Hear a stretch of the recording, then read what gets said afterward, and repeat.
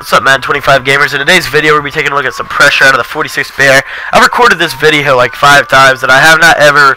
I don't know if I've posted or not, so here goes nothing. But it's an A-gap pressure that we can get out of 46 Bear, uh, and it's it doesn't have a couple of setups here. So let's take a look at it.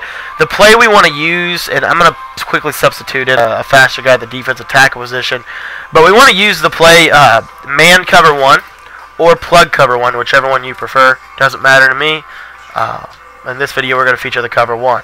All we need to do is we're going to baseline press.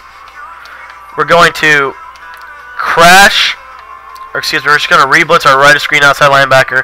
And I'm pretty sure all we have to do is um, crash our D-line down.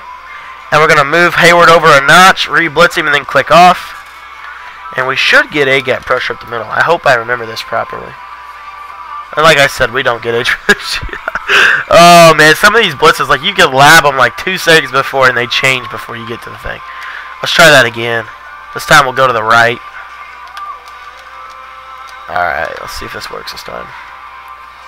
Are you kidding me? They must have patched it. I wonder if the tuning data fixed it. I don't know. Let's see.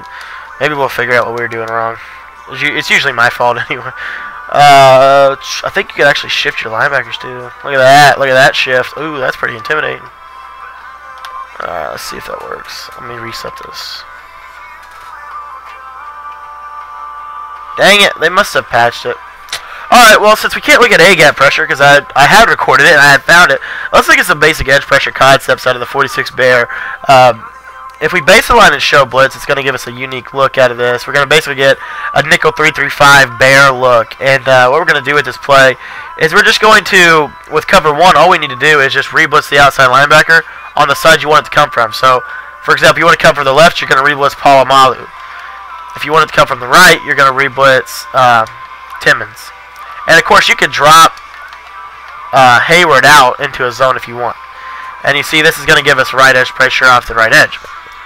Now again, um, I really apologize for the A gap not working. I, really thought it was, I thought it was correct. I don't know. We'll see. Let me see one other thing. Maybe, maybe they just, maybe you have to user the head coach or something. I don't know.